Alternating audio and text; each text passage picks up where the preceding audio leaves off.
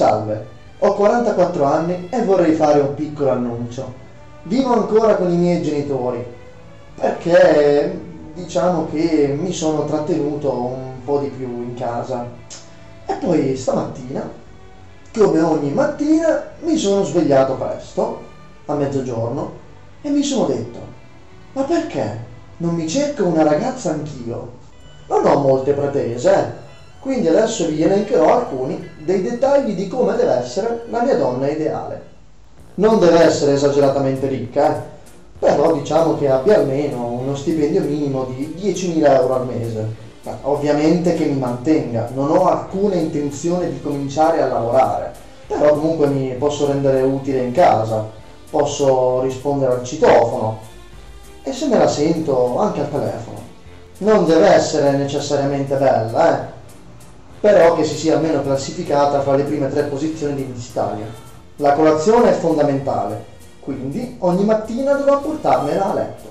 Durante il periodo del ciclo, dato che sicuramente sarò molto stressato, me ne vado in vacanza da solo, ovviamente pagate da lei. Le dimensioni non contano e io sono d'accordissimo. Mettiamola così, le mutande sono un uovo di Pasqua e io ho un Kinder sorpresa possibilmente che non soffra di mal di testa. Tutte le volte che provavo ad avvicinarmi a una ragazza gli venivano delle emicranie assurde e quindi non si concludeva niente. Lo so, è sfortuna. Premettiamo che sono tirchio.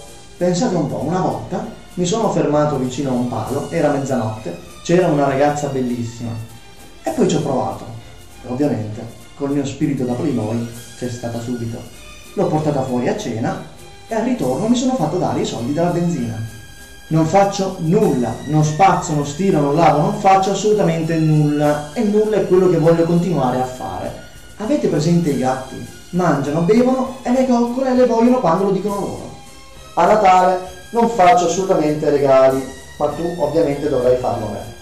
Il regalo me lo scelgo io, lo compri, lo incatti e quando verrà il momento di aprirlo io farò finta di non saperne il contenuto così siamo tutti contenti. Amo i cani e ho 14 chihuahua che ovviamente si trasferiranno con me a casa tua. Nutrirli, lavarli e portarli fuori toccherà a te. A me piacciono e basta. E questi erano alcuni particolari di come deve essere la mia donna ideale.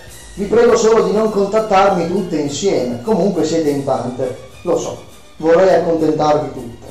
Ma solo una, la più fortunata, avrà il privilegio di passare il resto della sua vita insieme a me.